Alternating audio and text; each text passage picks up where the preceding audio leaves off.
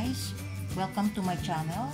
Narito na naman po tayo upang mag-share sa inyo ng uh, pagkain lutong bahay. Ngayong araw po, ang gagawin ko po ay yema balls with caramel. Napakadali lang po at uh, maganda pong pang negosyo. Ang mga kakailanganin lang po, ang pinaka-importante ay kondensada. Uh, kondensada, kahit anong klaseng kondensada, isang lata po siya sa isang serving. At saka egg yolks. So for, for business, dalawang medium size or large size na itlog.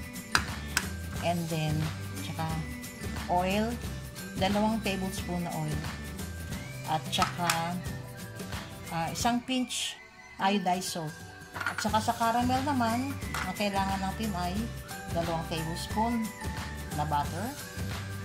At saka 1 half cup na sugar.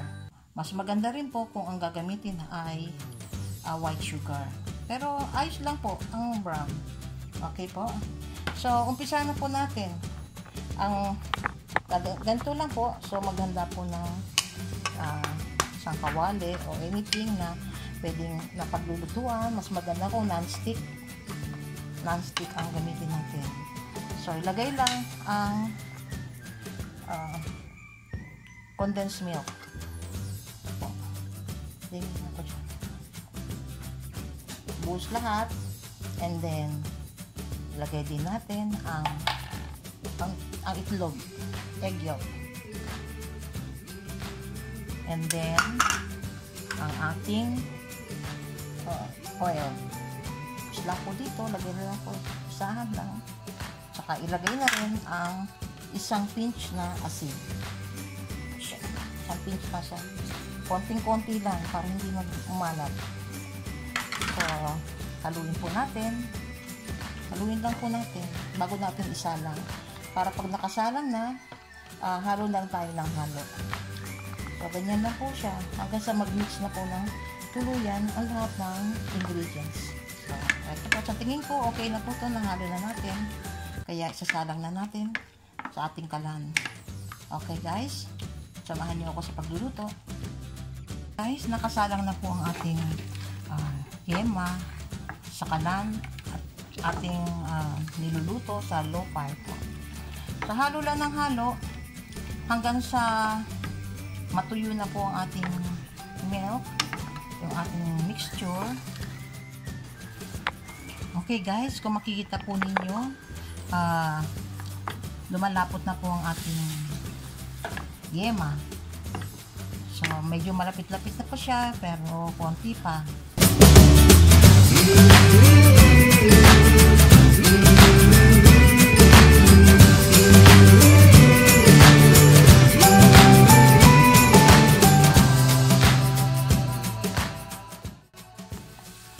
So guys, kung babalikan natin, ito na po siya.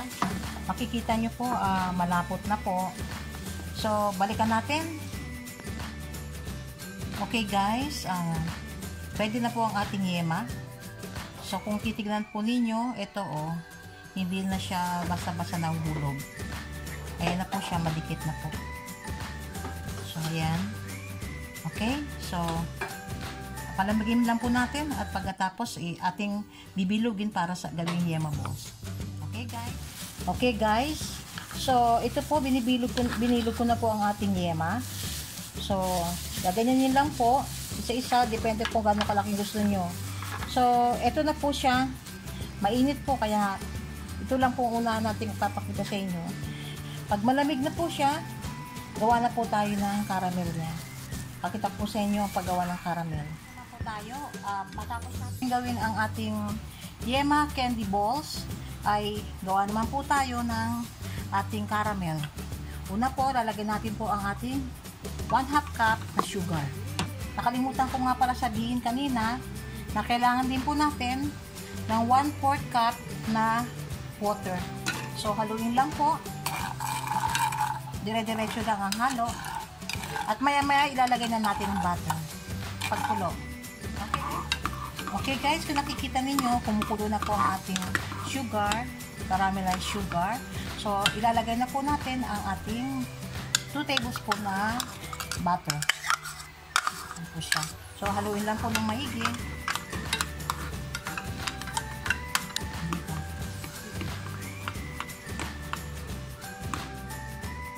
Okay guys, balikan na natin ang ating caramel.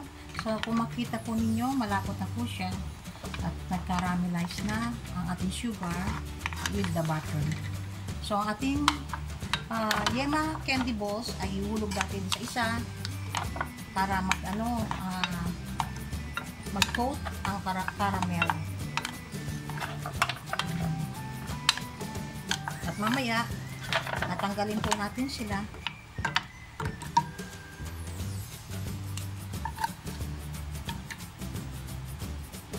Ito guys ang ating nagawa na Yema candy.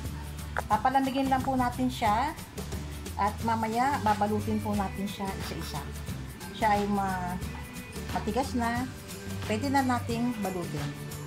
Okay guys, pakita ko lang sa inyo ang ating ang aming finished product. Ito po yung ano, yung una kong ginawa. Hinati ko kasi ang ang Yema candy. So, ito ang itsura niya nung na, na nagkaroon ng caramel. Itong banda rito, may caramel. At saka ito naman po ay yung nabalot na. Sadya akong binalot na white cellophane upang makita po ang uh, kung ano itsura pag nakabalot na. Ito po, maya-maya babalutin po natin isa-isa yan at magiging ganito po siya pag nabalot na. Hanggang sa susunod guys, keep on watching. Uh, try po ninyo to. Mag magandang pang negosyo at pwede rin pang himagas. Uh, malapit na po ang Pasko. Pwede po kayong gumawa nito para panghimagas po sa inyong mga bisita.